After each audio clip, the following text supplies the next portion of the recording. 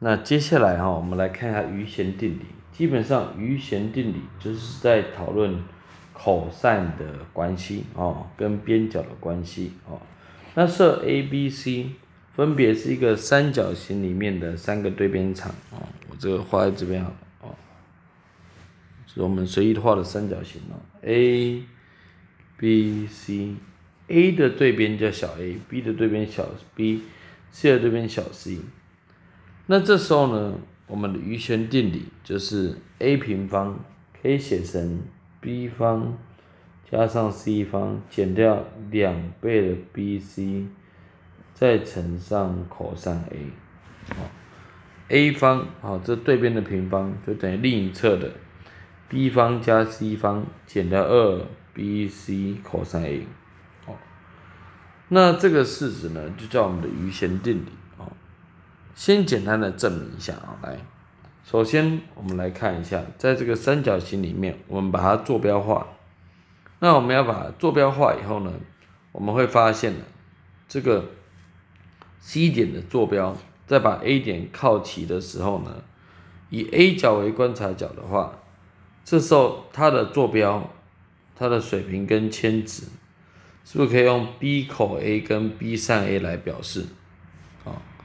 这个 OK 吧？哦，这个 OK 吧？哦，假设一条边 B 长嘛，这个应该还记得。哦，以 A 为我们的夹角，那这时候它的水平跟铅值，所以一边叫做 B cos A，一边叫 B sin A。好，好，那知道以后呢，那这个 B 点，哦，你看这个水平的坐标是 C，哦，所以这个 B 点的位置叫做 C 零。哎，坐标化以后，我们就可以去直接计算了哦。a 方，哦，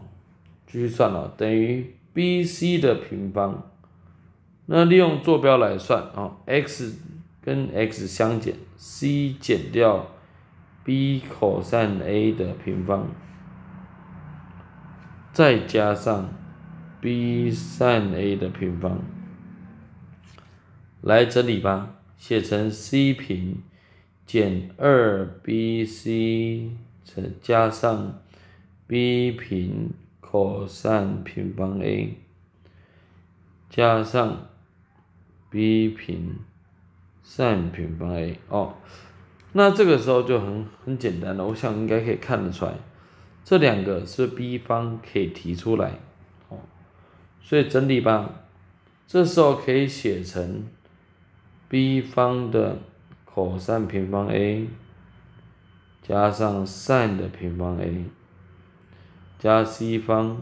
减掉啊，这边笔误了啊，前面这里是二 bc cos a 才对哦，不好意思，这边改一下啊啊，那反正我们再把这个减掉，减掉二 bc cos a，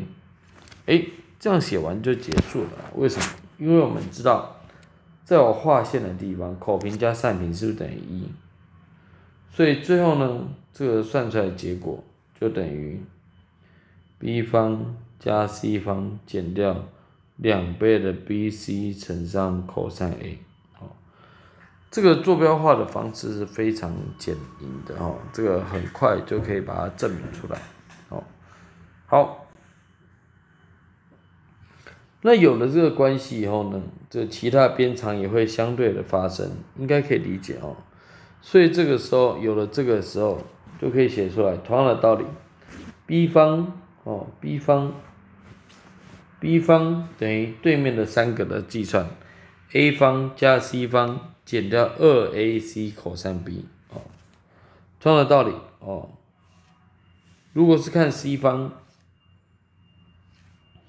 对面的三个就等于 b 方加 a 方